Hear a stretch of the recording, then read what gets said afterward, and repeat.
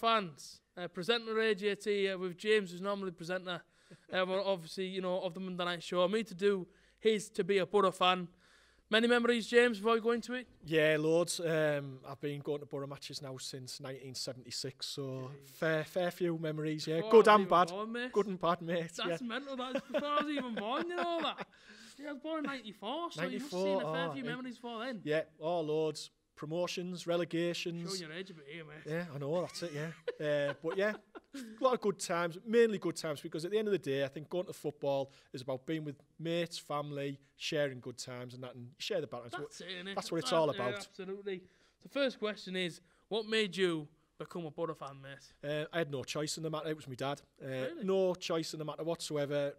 I'm the eldest in my family, so I think he made sure I was going to be a Boro fan. Oh, yeah. So I was taking my first match when I was three years old. Same so, me, mate. Yep, so there you go. So I had no choice in the matter. My first game, it wasn't a, a first team game either. It was a friendly against Hearts. Um, oh, nice one. Played Hearts in a friendly. Um, Stan Cummins, uh, some viewers might remember. Jack Charlton said he was going to become the first million pound player. He played his first ever game for Boro that day. Not, not that I can Was remember anything about well? it. No, it was at Ayresome Park. Oh, really? Um, so 1976, that was my first ever game watching the We Boro. win.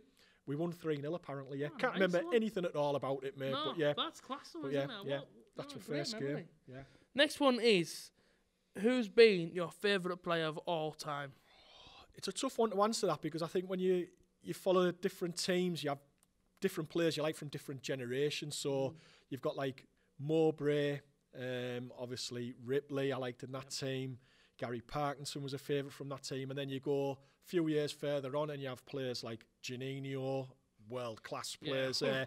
Um, Emerson, Rav, all like unbelievable. Alen Boksic, players that you thought you'd never ever see playing for the Boro. Um, so it's like a, a whole different risk, but it, it, probably the player that entertained me the most, and I think we'll never ever see the like again in the Boro shirt was Juninho. He was class, one. Yeah, unreal. He, he was, he was quality. magician, and uh, it was a privilege to watch him play for the Boro. Unreal, unreal. The next one then is most memorable match you've ever been to, mate. Again, different generations, different things, different eras. Um, I think the ultimate for Boro fans is obviously winning the Carling Cup because again, that was just we actually won a major Yeah. trophy to be there. So many people had gone to matches for years and years, never seen it happen. So to be there on the day when it did happen, you felt oh, unreal. Someday, wasn't it? absolutely amazing. Uh, but there's been games before that which were maybe not as big as that, but were better matches. I think um, I always go back to the Bradford City playoff games in 1988. So that was at Ayresome Park, and it was a semi-final. We played Bradford already three times that year. Lost home and away to them in the league. Lost the first leg at Bradford, yet we beat them in the second leg and went through to the playoff final where we beat Chelsea, which again is another great memory. So yeah, they're the, probably the two games out of all.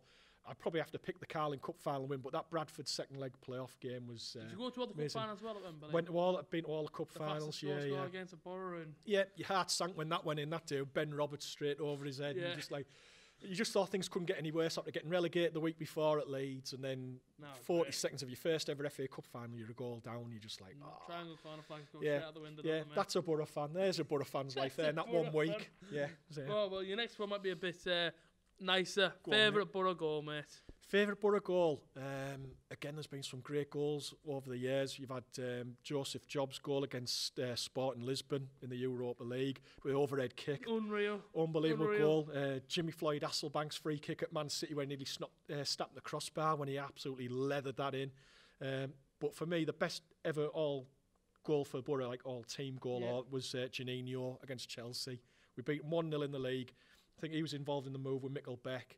Um, and he finished off with a diving header, Juninho, Yeah. a diving header, and just like that was just an unbelievable Quite goal. a famous goal that one, isn't it? It Yeah, always yeah. gets replayed, doesn't it? Yeah, that one. that's the best goal, team goal I've seen for the Boro. Um, goal, so yeah, that's my favourite all-time goal. Brilliant, mate. Favourite, um, but oh, should I say, sorry there, I've messed it up there. That's the most memorable match. That's the favourite Boro goal. Yeah. Best away day, mate. Best away day. Um, I mean, there's a lot of grounds I like going to. I like going to Hillsborough, Sheffield Wednesday. I like going Yeah. there. It's like an old school ground. Goodison Park at Everton's like that as well. Very old school. People might say, oh, it's falling to bits and that. But I think a lot of new stadiums now are all like the same type thing. Same, yeah. I like going to the older type grounds. So I like Hillsborough, I like Goodison. Um, so they're like probably two of my favourites. Um, Hmm. yeah, they're two ones I like going to. Hillsborough's a great stadium, like I Yeah. say, like I say, man. Good part never done, but Yeah. those were just for the history Yeah, of it and yeah, everything else. yeah, and you get a de- you normally get a decent allocation when you go there, so you can have like a good following of Boro fans, and it's not too far to go. Yeah, it's only got a lot. So yeah, I It's like going there. Yeah, Mate, favourite ever Boro kit now. James has got uh, how many kits for the last 30 years? Every I single think one? I've got more or less nearly all the home and away kits here. So yeah, at the same time. my wife's not happy about it. Like she kicks off The like and stuff. Yeah, yeah. The washing machine's full of them and all Oh, sorts. Yeah, can't move in our house. But yeah, um, yeah. Boro kits for me. I think ideally for me, a Boro top should be a home shirt. Should be red with the white band across. That's my favourite Boro home kit when they do it that way. Yeah. Uh, and away kit, I like the old black and blue stripes. Class. So Inter Milan. So Class. they're me, they're my two favourite type Boro kits. Yeah. Oh, mint, mate. Um, saddest moment as a Boro fan. Now you've been going against for a long time, so you've probably had a fair Yeah, few, there's mate. been- there's a few, like you say, relegations are always an absolute downer. There's been a few. Um, members getting relegated at Shrewsbury, which then that's somewhere we went into liquidation. So then we didn't nearly have a club to support. So I mean, that's like the absolute ultimate as a football fan. You don't. Yeah. What would you do if your club went out of business? So that's one. Like you say, there's been a lot of relegations, been cup final losses. Um, so they're all sad things.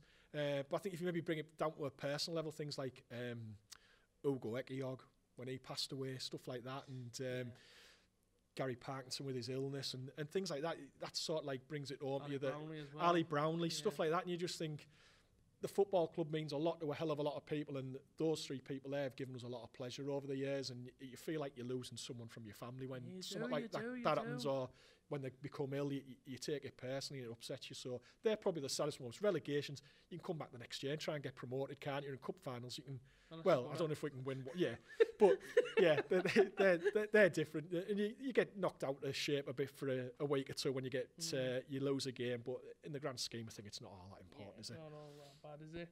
Oh well, now we're gonna be a bit more cheerful. Go on, Funniest moment as a Boro fan, mate. Funniest moment. Um, had a few good away days. Uh, going with mates that uh, I go to the matches with. Um, went to Yeovil a few years ago. It was last game of the season.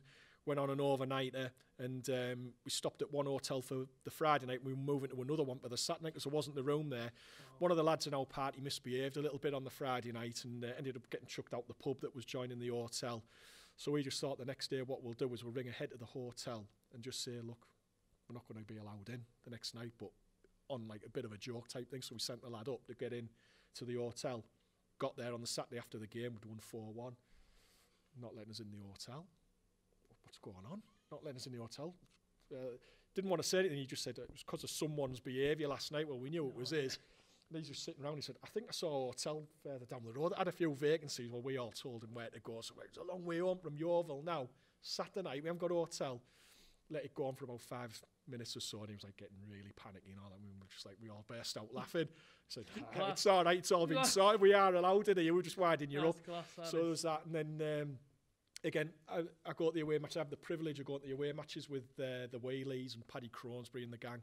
Absolutely fantastic. And um, first time I went with them, went to um, Accrington pre-season this year, Mm. and the beers were getting handed round the bus. We hadn't even left Thornaby. And I'm like thinking, well, I don't want to look a bit of a lightweight here, so I'm gonna have to start drinking. Drinking away. When we get to Leeds, I'm creased up, sort of thing. And I'm thinking, there's got to be a toilet stop soon. Well, there wasn't a toilet stop, was it? We just carried all the way to Accrington, and Oh, like mate. I was absolutely creased. I was like in like desperate need of the toilet by the time we got to Accrington. So they all had a good laugh at me on the bus, like because they didn't need to go to the toilet, did they? Oh, mate, so I was just schoolboy, schoolboy error on my part. so Schoolboy. schoolboy. Just So yeah, in a can but yeah, yeah, absolutely I think everybody else would have done, great days out with the wheelies. Fantastic uh, group of supporters. Class. Yeah. And uh, the last one, mate. What is a team that you absolutely love to beat?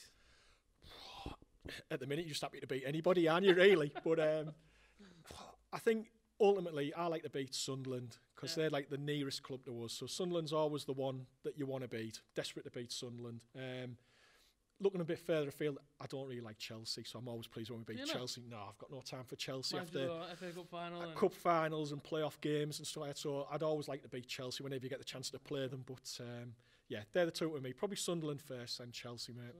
Oh well. Yeah. James, thanks very much, mate. Thank you very welcome. much. Nice Okay. one. Thank you very much.